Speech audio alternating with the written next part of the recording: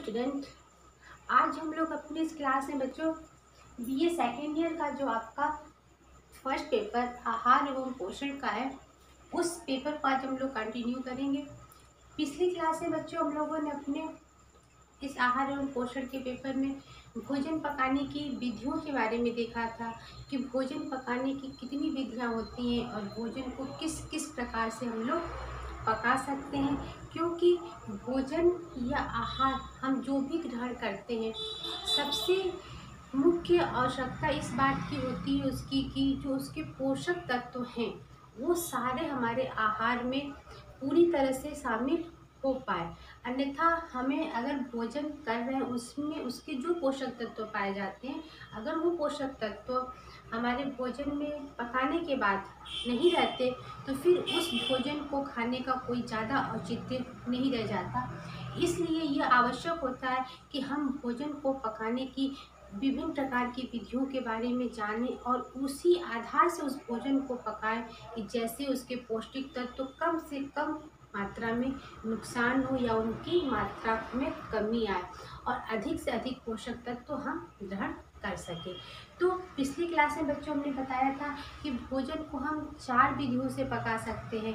पहला था आपका जल द्वारा हवा द्वारा, वाष्प द्वारा और चौथा वसा के द्वारा। तो ये जो चार प्रकार की विधियाँ होती हैं भोजन पकाने की, इन चार प्रकार की विधियों में हम लोग को पका के अपने विभिन्न भोज्य पदार्थों को पकाते हैं और हम उसको ग्रहण करते हैं। बच्चों, जब आज से बहुत पहले आदिम काल में जब आग का आविष्कार नहीं था तो जो उस समय की जनजातियाँ या लोग थे, वो लोग भोजन को या फिर कच्चे मांस के रूप में या फल, फूल से ही अपने आहार को ग्रहण करते थे। लेकिन जब अग्नि का विस्तार हुआ, उसके बाद से हम लोगों को अपने भोजन को पका के खाने के बारे में जानकारी प्राप्त हुई, जो एक बहुत ही प्राचीन काल से जो एक इतिहास के के द्वारा हमें पता चलता गया कि अग्नि का आविष्कार हुआ। फिर हम अपने भोजन को विभिन्न प्रकार से अच्छी अच्छी तरह से पका के खाना स्टार्ट किया, लेकिन जब तक अग्नि का आविष्कार नहीं था, हम लोग कच्चे कंद, मूल फल या कच्चे मांस के रूप में ही भोजन को ग्रहण करते थे और जीवन यापन करते थे। लेकिन अग्नि के आविष्कार के बाद इस कार्य में बहुत ही आसानी हुई हम अपने भोजन को पकाना स्टार्ट किया और उसको हम लोगों को काफ़ी मदद हुई। तो सबसे पहले बात कर लेते हैं जल की। तो जल में जो भोजन को पकाने की विधि में हम लोगों ने बताया तो उबालना खदकना, स्टीरिंग, तरह से हम लोग कई प्रकार से भोजन को उबाल के पका के खाते हैं। जैसे दाल, चावल को हम लोग उबाल के आलू, कंदा कंदमूल को उबालने की विधि द्वारा पकाते हैं। जैसे इसमें इनके पौष्टिक तत्व बने रहते हैं। हवा द्वारा इसमें जो वाष्प इसमें हवा के द्वारा जो हम लोग अग्नि का यूज़ करके उनको भून के जैसे चावल है, गेहूँ है, उनको भून के हवा के द्वारा संपर्क से बजाते हैं, वाष्प द्वारा। यानी कि वाष्प में दो प्रकार से मैंने बताया था, एक कोई जो खाद्य वस्तु होती है, वो आपको सीधे वाष्प के संपर्क में आती है, या फिर एक वो किसी बर्तन के ऊपर रख के मतलब उसका अप्रत्यक्ष, एक प्रत्यक्ष रूप से होता है, एक अप्रत्यक्ष रूप से वाष्प द्वारा भोजन पकाने की विधियाँ होती हैं। ठीक है? फिर वसा द्वारा यानी कि डीप द्वारा आप तली हुई चीज़ों को हम लोग यूज़ करके खाते हैं, जैसे पूरी कचौड़े, समोसे, इस टाइप से हो गए तो ये क्या होती हैं? तली चीज़ें होती हैं, इनको हम रूप में यूज़ करते हैं। तो भोजन पकाने की विधि हमने बताई थी, चार प्रकार की और इन्हीं चार प्रकार से विभिन्न प्रकार के भोजन को बनाया जाता है। ये बात थी भोजन पकाने की विधियाँ। और आज का चैप्टर में हम लोग देखेंगे बच्चों कि जो हमारे भोजन के पोषक मूल्य हैं, ठीक है? हम तो भोजन को पकाना जानेंगे कि किन किन विधियों से भोजन को पकाएँगे और उनका हम यूज़ करेंगे।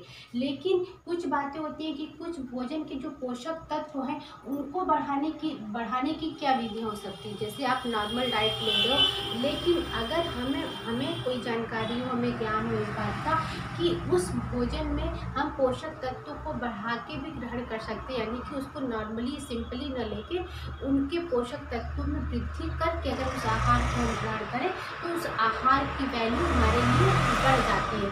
तो आज उसी टॉपिक को हम लोग देखेंगे बच्चों कि जो हमारे आहार हैं, जो भी हम आहार ग्रहण करते हैं, कच्चे रूप में, तरल रूप में, ठोस रूप में तो उस आहार को हम लोग किस प्रकार से पोषक मूल्य को बढ़ा के अपने भोज्य पदार्थों को अधिक पोषक न्यूट्रिशल बना के भोज पदार्थ को ग्रहण कर सकते हैं?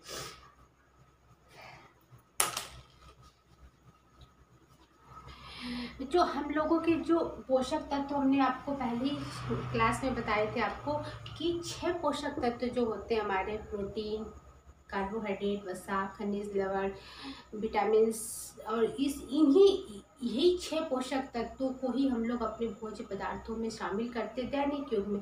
हमने भोज्य समूह भी बताए थे कि पाँच तरह के भोज्य समूह होते हैं और हर एक भोज्य समूह से ही हम ग्रुप से एक आहार को ग्रहण करते हैं और उसके न्यूट्रिय वैल्यू को हम लोग कैलकुलेट करके आहार को ग्रहण करते हैं। तो आज हम लोग अपनी क्लास में सबसे पहले देखेंगे कि पोषक मूल्य जो है उनकी बढ़ाने की क्या मैथड हो सकते क्या तरीके हो सकते हैं कि हमारे पोषक मूल्य बढ़ जाए। तो सबसे पहले बात कर लेते हैं खोज पदार्थों के मिश्रण विधि द्वारा, ठीक है?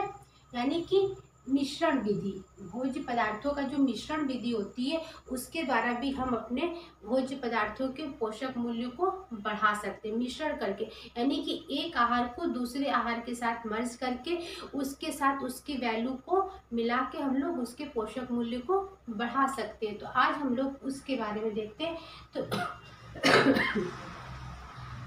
इसमें खाद्य पदार्थों को मिश्रित करके बनाने से पौष्टिकता में वृद्धि होती है, ठीक है?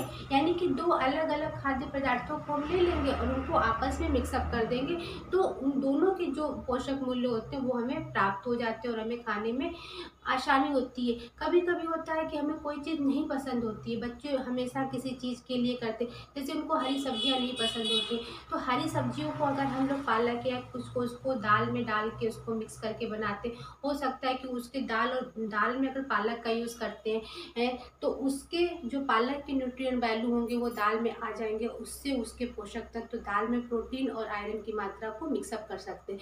तो इस तरह से पालक के जो पोषक तत्व होंगे, आपको दाल के द्वारा प्राप्त हो जाएँगे। जैसे पालक पनीर की बात, अगर बच्चे पालक नहीं खाते, बहुत लोग पालक नहीं तो पालक की प्यूरी में अगर हम पनीर की मात्रा को मिलाते तो आयरन और आपके पनीर।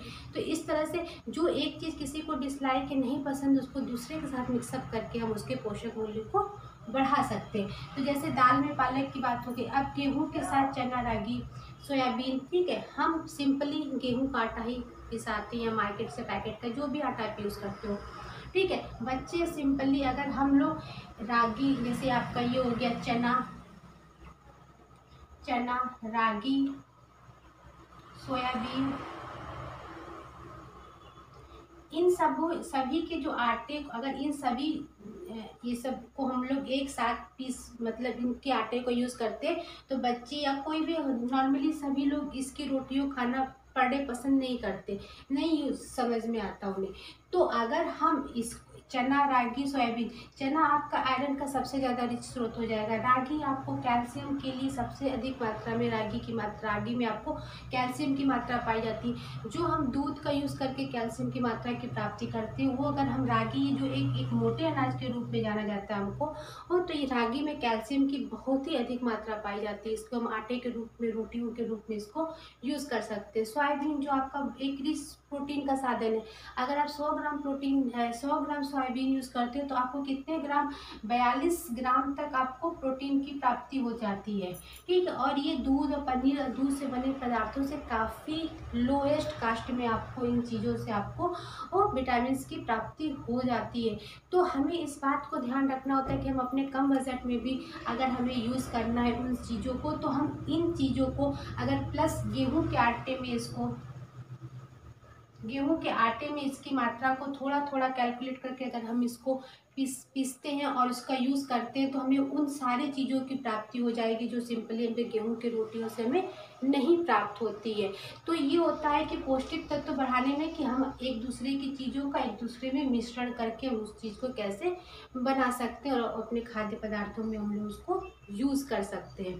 ठीक है, अब बात आती है जैसे चीज़ है, पनीर है तो बहुत लोगों को चीज़ और पनीर चीज़ें नहीं उतनी पसंद आती तो उसके रूप में हम लोग उसके सैंडविच के रूप में या फिर आप उसको पनीर पराठा के रूप में या पनीर टिक्की के रूप में यूज़ कर सकते हो। तो वो एक चीज़ को दूसरे चीज़ के साथ हम उसको मिक्सअप करके यूज़ करते, मिश्रण करके तो उसके पौष्टिक तत्व तो बढ़ने की संभावना हो जाती है। अक्सर हम दाल का उपयोग हम लोग नियमतः हर घरों में करते हैं तो जो हमारी दाल होती है, उसमें विभिन्न प्रकार की सब्ज़ियाँ डाल के अगर हम उसका यूज़ करते हैं तो जो सब्जियों के पौष्टिक तत्व होते हैं, दाल में आ जाएँगे और उस दाल से हमें सारे सारे विटामिन और प्रोटीन की प्राप्ति हो सकती है। तो इस प्रकार थोड़ा सा अपना कैलकुलेशन करके, अपने अपने आप को विचार करके अगर हम मिश्रण विधि द्वारा पौष्टिक तत्वों को बनाने की विधियों का ज्ञान करें तो हमारे भोज्य पदार्थों में विभिन्न प्रकार के पौष्टिक तत्व मिल सकते हैं। तो ये पहला था भोज पदार्थों की मिश्रण विधि द्वारा हम अपने पोषक मूल्य बढ़ाने की विधियाँ।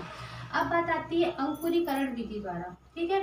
अंकुरीकरण विधि द्वारा यानी कि हम अपने पौष्टिक तत्वों में पोषक, आहार के पोषक मूल्य किस प्रकार बढ़ा सकते हैं? अंकुरण वृद्धि द्वारा। इस विधि में विभिन्न प्रकार के जो आपके मूंग, सोयाबीन, चना, गेहूँ को अंकुरित करके पौष्टिकता में वृद्धि की जाती है, ठीक है? जैसे सुबह के नाश्ते में हम लोग अक्सर चने, अंकुरित चने, मूंग है, चना है, गेहूँ को सम्मिलित करते हैं। इनको रात में हम भिगा देते हैं, फिर इनमें अंकुरण की प्रक्रिया को प्रोसेसिंग करते हैं। उसमें अंकुर निकल आते हैं इनके ऊपर सफ़ेद सफ़ेद टाइप से जो भी। तो वो जो अंकुर निकल आते हैं, वो हमारे पोष, इनके पोषक तत्वों में काफ़ी मात्रा में वृद्धि करते हैं और वो किसकी मात्रा को सबसे ज़्यादा बढ़ाते हैं? वो विटामिन सी की मात्रा को। ठीक है? अंकुरित पदार्थों में सबसे ज़्यादा किसकी मात्रा बढ़ जाती है? विटामिन सी की मात्रा बढ़ती है। ठीक है? चूँकि हमने अभी विटामिन वाले क्लास में आगे जब देखेंगे तो बताएँगे कि जो विटामिन सी की मात्रा, इसको हम लोगों को बच्चों डेली आहार में ग्रहण करना पड़ता है, क्योंकि ये विटामिन सी की मात्रा हमारे शरीर में बहुत स्टोर नहीं हो पाती है। इसलिए इसे पर डे के आहार में हम लोग नींबू के रूप में, या फिर आप क्या कहते हैं, खट्टे संतरा है, चकोतरा, इस रूप में, और फिर या तो ये अंकुरित अनाज के रूप में अगर हम लेते हैं तो हमें ये ये विटामिन सी की काफ़ी मात्रा मिल जाती है। तो अंकुरण विधि का प्रयोग हम लोग, ये सबसे ज़्यादा घरों में यूज़ करने वाली विधि देखी जा सकती है, क्योंकि चना, मूंग ये सोयाबीन को हम लोग अंकुरित करके उसको सैलड के रूप में यूज़ करते हैं तो वो एक अंकुरण विधि द्वारा पोषक मूल्य को बढ़ाया जा सकता है। अब बात कर लेते हैं बच्चों खमीरीकरण विधि द्वारा। ठीक है? खमीरीकरण, यानी कि उसमें जो खमीर की मात्रा से कोई चीज़ उत्पन्न हो जाता है, जैसे ब्रेड वगैरह आप देखते तो उसमें क्या होता है? खमीर की मात्रा होती है तो उसके पोषक तत्व के बढ़ाने में भी वो काफ़ी मदद करते हैं। तो शर्करा युक्त, यानी कि यहाँ पे बता रहा है कि शर्करा युक्त जो कार्बोहाइड्रेट युक्त पदार्थ होते हैं, ठीक है? गेहूँ हो गए, मैदा हो गए, गेहूँ से मैदा बनेगा जो चीज़ें तो उन चीज़ों में कुछ समय के लिए आप उनको रख देते हैं तो उसमें खमीर उत्पन्न हो जाता है, ठीक है? अब गेहूँ के आटे कोई अगर हम आटा मड़ा हुआ रख दे थोड़ी देर के लिए सुबह का सा तो वो फूल जाता है। ऐसा क्यों होता है? क्योंकि उसके अंदर खमीर की मात्रा आ जाती है। अगर हम भटूरे का आटा बनाते हैं तो उसमें क्या? उसमें जो सूजी है, मैदा है, दही का यूज़ करते हैं तो किस लिए करते हैं? उसमें खमीरीकरण की प्रक्रिया के लिए ही करते हैं। उसको हम पहले अपने डो को सेट करते हैं, फिर तीन चार घंटे के लिए हम छोड़ देते हैं, जिससे उसमें खमीर की मात्रा की वृद्धि हो जाती है और फिर हम उस आटे का यूज़ करते हैं। तो वो खमीरीकरण की विधि द्वारा भी हम अपने जो ये आपका पोषक मूल्य है, आहार का उसको हम बढ़ा सकते हैं। तो खमीरीकरण की विधि द्वारा, ठीक है? तो इस खमीरीकरण की विधि द्वारा बहुत से आइटम बनाए जाते हैं, हम लोग अपने घर में यूज़ करते हैं। सबसे पहले तो ब्रेड ही जो हम लोग अपने पर के नाश्ते में, आहार में जो भी यूज़ करते हैं ब्रेड की मात्रा। इडली आपका हो गया, इडली हो गया, डोसा, ढोकला नान सिक्का इडली क्या? इडली में हम लोग अपने चावल और दाल की मात्रा को तीन भाग चावल, एक भाग दाल की मात्रा को पीसते हैं, फिर उसको कुछ समय के लिए हम लोग रख देते हैं। क्यों? क्योंकि जब उसमें खमीर की मात्रा डेवलप हो जाती है तो फिर हम उस इडली को बनाते हैं। डोसा हो गया, ढोकला हो गया तो इन सारी चीज़ों को हम लोग यूज़ किस रूप में करते हैं? खमीरीकरण की विधि द्वारा। तो उसके पोषक तत्व तो बढ़ने में हमें मदद मिलती है। बच्चों कोई भी आहार हो उसको बनाने इससे ज़्यादा उसमें ये देखना होता है कि हम उसको किस विधि से बनाएँ कि उस भोजन के पोषक तत्वों में कई मात्रा में वृद्धि और कमी तो होगी। क्योंकि जब हम किसी भी आहार को बनाते हैं तो जब वो आँच पे पकते हैं, जब उसको आँच पे हम पकाते हैं तो उसके पोषक मूल्य नष्ट होते हैं। लेकिन हमें बस इस बात का ध्यान रखना होता है कि उसके जो पोषक मूल्य वो कम से कम नष्ट हो, ठीक है? जैसे हम लोग पनीर बनाते हैं, जब पनीर बनाते हैं तो उसका पानी बच जाता है, जब दूध को हम लोग फाड़ते हैं काट के या नींबू की सहायता से।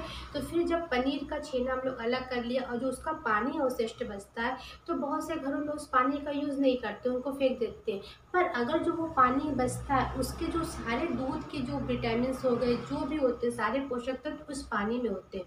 तो उस पानी का यूज़ हम लोग सब्ज़ी में, जैसे सब्ज़ी की प्यूरी में पानी डालते हैं तो उस पानी का यूज़ हम उसमें कर सकते हैं कि आप कुछ सब्ज़ी बनाए या कोई भी चीज़ तो उस पानी को उसमें आप डाल सकते हो। तो उससे उसके पोषक तत्वों की मात्रा जो है पानी की आपको मिल जाएगी। पनीर में तो जो मिलना है, मिल गया आपको, लेकिन जो पानी के पोषक तत्व वो भी आपको प्राप्त हो जाएँगे। जैसे भोजन पकाने से पहले हम दाल है, चावल को कुछ देर के लिए भिगोते हैं। तो बहुत से घरों में गृहणियाँ उस चावल के जो पानी को भिगोती हैं, फिर उनको वो निकाल देती हैं वेस्ट कर देती हैं। लेकिन हमको उसी पानी के द्वारा, उस आहार को पकाना चाहिए, क्योंकि जो भी उसके पोषक तत्व हैं, वो तो सारे उसी पानी में आ गए। और उस पानी को अगर हम फेंकते हैं तो हमारे पोषक तत्व की मात्रा कम हो जाएगी। तो उस पोषक तत्वों के जो है, उसी पानी का यूज़ करके हमको उस पोषक तत्वों को बनाना चाहिए।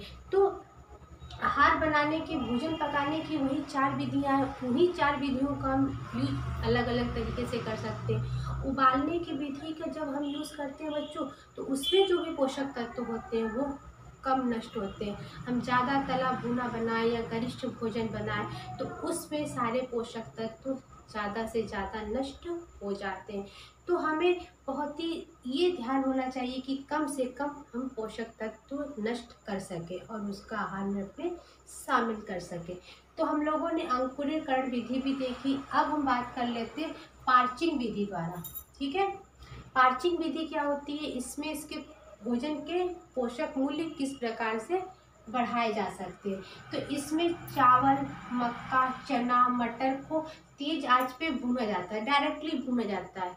तो जो इसके चना हो गया, आप चावल में आपके कार्बोहाइड्रेट की, मक्का भी आपका चना, मटर तो इसमें जो भी आपके पोषक तत्व हैं, वो आपको एटेजिस उतनी ही मात्रा में मिलेंगे क्योंकि ज़्यादा नष्ट नहीं हो पाएँगे उस समय तक।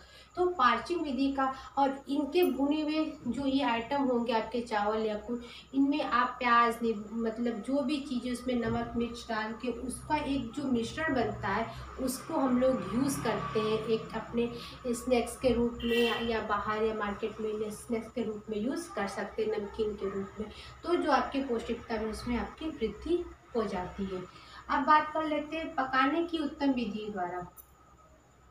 ये तो हम लोगों ने पढ़ी की चीज़ें, लेकिन नॉर्मली बहुत से घरों की गृहणियों को या जो भी है, उनको ये एक जो आपका किताबी ज्ञान है, उनको नहीं मिलता कि कैसे क्या करते हैं। तो जो जल, हवा, वाष्प की विधि है, उसी विधि का यूज़ करके भी हम अपने पोषक तत्वों को बढ़ा सकते हैं कि हम अपने पोषक तत्वों के मूल्यों को कैसे बढ़ाए और किस विभिन्न प्रकार की विधियों का यूज़ करके उसके कार्य को हम कर सके। तो जब हम पकाने की उत्तम विधि द्वारा करते हैं, यानी कि जल द्वारा जब हम पका रहे हैं तो जैसे आलू बॉयल करना, कंदमूल बॉयल करना तो उनके आलू के अगर छिलके को छिल के डायरेक्ट आलू को बॉयल कर सकते हैं, फिर हम लोगों को उत्तम विधि द्वारा, यानी कि आप किसी चीज़ को डीप फ्राई कर रहे हो, वसा का यूज़ करके कर रहे हो तो उस समय आपको जितनी मात्रा आपकी वसा की ज़रूरत है उतनी ही वसा का यूज़ करना चाहिए उस चीज़ को तलने के लिए। जली हुई वसा का यूज़ बार बार हमें नहीं करना चाहिए, क्योंकि उसमें एक केमिकल रिएक्शन होता है जो हमारे आहार को जहरीला बना देता है। तो एक बार जो हमने वसा आयल जो भी यूज़ किया, थोड़ा यूज़ करना चाहिए, क्योंकि वो उतनी मात्रा में ख़त्म हो जाए। फिर हमें नया है तो नए वसा या ऑयल का यूज़ करना चाहिए, जिससे उसके पोषक तत्व तो बने रह सकते हैं। तो हमें अपने भोजन में विभिन्न प्रकार की विधियों का प्रयोग करके उनके आहार को मतलब आहार में पोषक मूल्य जो उनकी वृद्धि में मदद करते हैं और आसानी से हमें उस चीज़ का यूज़ करना चाहिए। वाष्प के विधि द्वारा हमें उसका यूज़ करना चाहिए।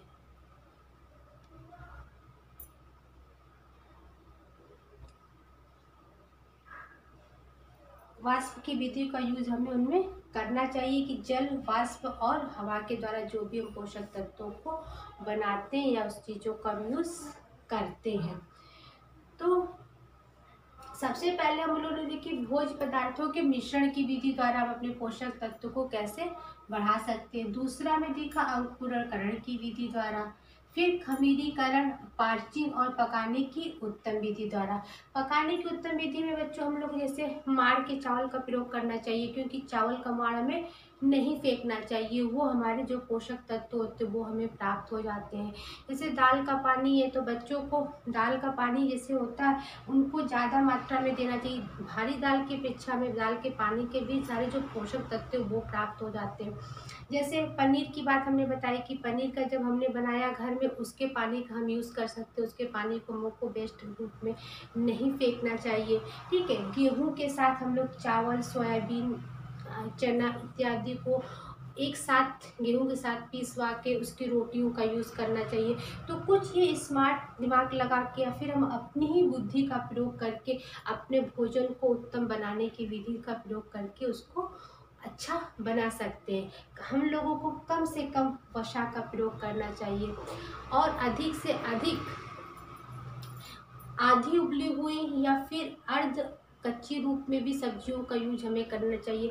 सब्जियों को बहुत ज़्यादा पकाने से जो उसके पोषक तत्व होते हैं, जो खनिज विटामिन होते हैं, वो नष्ट हो जाते हैं। अक्सर पालक का यूज़ हम लोग करते हैं तो बहुत ज़्यादा उसको कुक कर देते हैं, फ्राई कर देते हैं, जैसे उसके पोषक तत्व काफ़ी मात्रा में नष्ट हो जाते हैं। पालक को अधिकतर हम लोग आटे में उसको कटिंग करके रोटियों के रूप में, पालक का पराठा या पालक की पूड़ी के रूप में। तो जो उसके पोषक तत्व होते हैं, सब्ज़ी के पीछा काफ़ी मात्रा में हमें प्राप्त हो जाते हैं।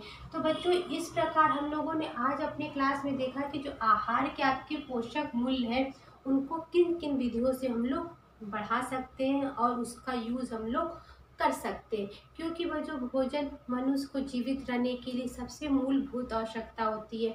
भोजन के द्वारा ही हमें शक्ति मिलती है, ऊर्जा मिलती है और हम अपने कार्यों को करते हैं। ये भोजन के द्वारा जो हमें पोषक तत्व मिलते हैं, वही हमें बीमारियों से, विभिन्न प्रकार के रोगों से, संक्रमण से वायरस से हमें बचाते हैं। तो ये बहुत ही आवश्यक हो जाता है बच्चों कि हम अपने भोजन को, अपने आहार को इस प्रकार से बनाएँ कि वो जो छह पोषक तत्वों की मात्रा है वो हमारे आहार में मिलती रहे, जिससे हम रोगों से, बीमारियों से नए नए संक्रमण रोगों से, वायरस से बचें और अपना जीवन अच्छी प्रकार से जी सके। क्योंकि बच्चों, एक स्वस्थ शरीर में ही स्वस्थ मस्तिष्क का निर्माण होता है। अगर हम मतलब अधिकतर बीमारी रहेंगे तो हमारा किसी कार्य में मन नहीं लगता। और सबसे ज़्यादा ज़रूरी होता है हमें अपने आहार पे ध्यान देना कि हमारा आहार ऐसा हो कि हम कम आहार भी लें तो हमको सारे पोषक तत्वों की प्राप्ति हो जाए जितनी हमें अपने शरीर के लिए, अपनी बॉडी के लिए और अपने कार्य के अनुसार हमें अपनी रिक्वायरमेंट होती है। तो इसी इसी क्रम में ये बात थी कि हम अपने आहार के पोषक तत्वों को कैसे बढ़ा सकते हैं और उसका अपने भोजन में हम यूज़ कर सकते हैं। तो बच्चों, आज की क्लास के लिए इतना ही करते हैं। हम लोग अपनी नेक्स्ट क्लास में एक नए टॉपिक के साथ मिलेंगे। आज के लिए इतना ही। Thank you